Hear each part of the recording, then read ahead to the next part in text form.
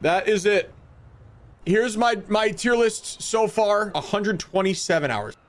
I've been in the top 500 is a closed beta.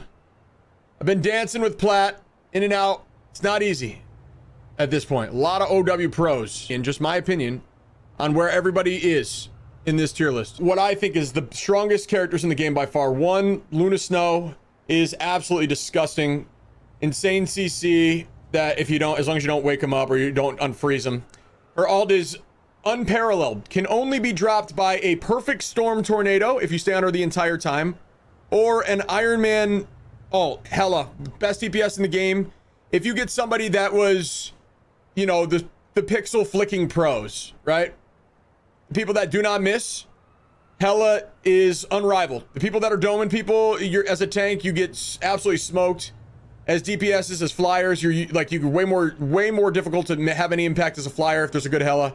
Outside of that for S tier, I will say Punisher. Punisher's team up with Rocket with his shotgun out makes tanks obsolete. His AR is pretty good, not great, but it is good against flyers, good at, at range, but his shotgun is by far his best part of his kit.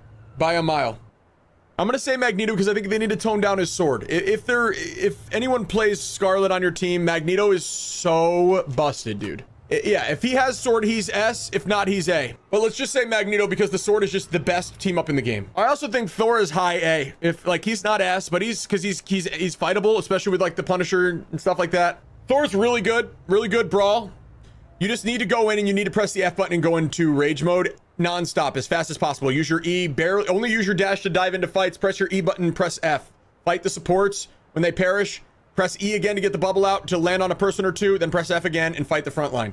You can burn tanks, you can burn supports. He's really good. His ult's pretty good. It gets good picks, but it's not like busted. But the, his his F button is really good. He's in a really good place. He's a strong, strong tank. How are you ranking with team ups? I'm considering a little bit of both. Some team ups are so good that I'm going to count that as their escalation, like Magneto is the best in the game. Hulk is underrated. People don't understand how to play Hulk. You should be jumping every two seconds. You should be holding your spacebar while you're swinging. You should be holding your spacebar while you're shielding. You should be jumping in and out and distracting like no one's business. You have so much invulnerability with your second alt transforming into different forms, you're invulnerable. Grabbing people with the, the Hulk smash, you're invulnerable. He can buy so much time. He's an absolute menace. He can take someone out of the fight. And he is very hard to take down if somebody's good with him. A lot of people are not good with him, so they think he's bad. But when we did the tournament, we faced the number one Hulk out of China, and the guy was so good. It made me realize how good Hulk can be. It was another level of game. It was ridiculous. Storm is definitely a her ult's disgusting. I want to put her in S just because how good her ult is. And people can be so good with her. But if you do have those never miss a snipe gamers on your team, high, super high level tier gamers, Hela will help shut down somebody like, like Iron Man and Storm. And I'll put Iron Man and Storm next to each other because they're pretty comparable. Iron Man is really good with, especially with Hulk's team up. His his range from above, he's a menace.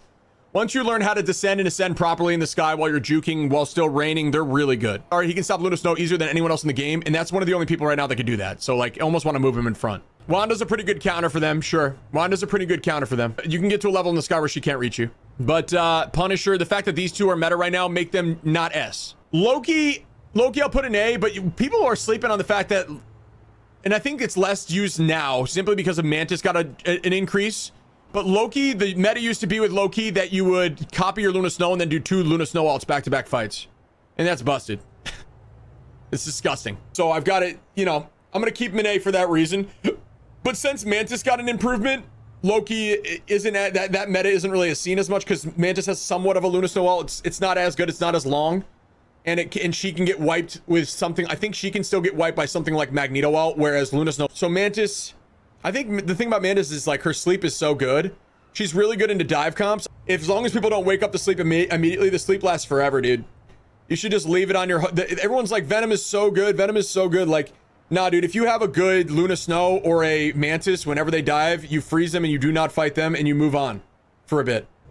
he's good, and he he like he's a pub stomper in early ranks. People do not know how to handle him.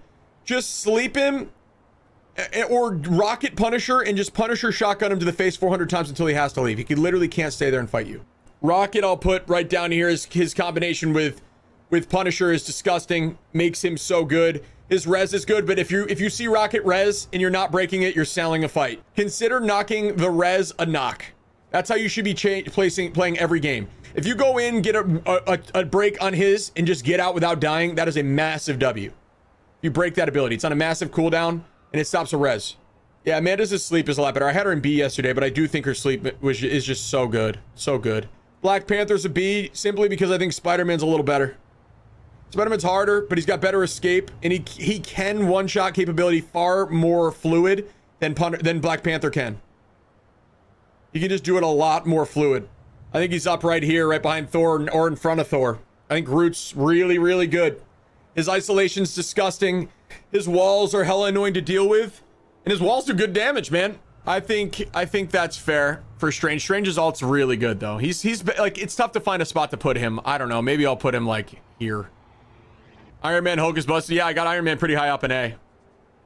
But it's nowhere near as busted as Magneto. It just honestly Iron Man's regular attack is great still too. You don't like it's nice to have the bigger AoE, but it's definitely good, and that's why I've got them both up here in A. They're close to S. Magik is A. But she gets hard countered by the flyers, man, if you stay up in the sky. Like, but she's really good and disruptive. Is a pseudo tank. I'll put her right up there with Spider-Man. Uh, Peni is C, in my opinion. I, Peni, guys, like, people love saying Peni's good. Peni is, oh, I've only seen good Pennies when they know exactly when to lock ulties down with the right click. Her stun, her mini stun is the best part of her kit by far. She face tanks all of her abilities, including her ultimate, where she has to legitimately run directly at the enemy. If there's a Punisher on their team or a Hela that can hit their shots, she dies instantaneously. People are gonna hate me for that. She's only good with her with her mini stun. Namor pretty good. I think Namor strong, and you can be nice with Namor, dude. In certain games, you're gonna pop off with him. His alt's fun to use. His alt can can be one of the things that drops Luna. It has to hit the dead center of the alt, and Luna's moving so quick that it's really hard to do. You have to get lucky. So Namor, like really good into Spider-Man, or like a Star-Lord that's popping. Then you put out Namor, you throw your turrets out, and when they dive you, they get torched.